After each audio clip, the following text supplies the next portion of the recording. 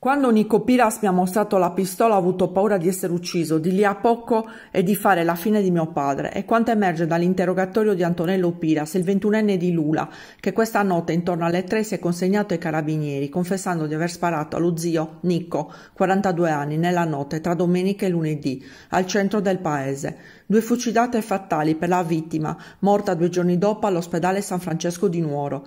Il giovane da quel momento si era reso irreperibile fino alle tre di oggi, quando si è presentato in caserma. Ad ascoltare la sua confessione il PM della Procura di Nuoro, Ireneo Satta, e il maresciallo Giovanni Ciancilla. Antonello Pira si è presentato in caserma accompagnato dai suoi due avvocati, Francesco Mossa e Giovanni Colli. Con lui c'erano anche la madre e la sorella. Il giovane era rientrato a Lula lo scorso fine settimana per le Cortes Apertas. Per tutta l'estate aveva lavorato come cameriere in Cosa Smeralda. La posizione del giovane fin dall'inizio è stata in bilico per aver fornito diverse piste agli inquirenti per la svolta nelle indagini. Nico Piras era imputato insieme all'ex moglie Alice Flore dell'omicidio avvenuto nel 2015 del fratello, nonché padre di Antonello in relazione al cui omicidio proprio oggi a Cagliari si sarebbe dovuto tenere il processo in corte d'assise.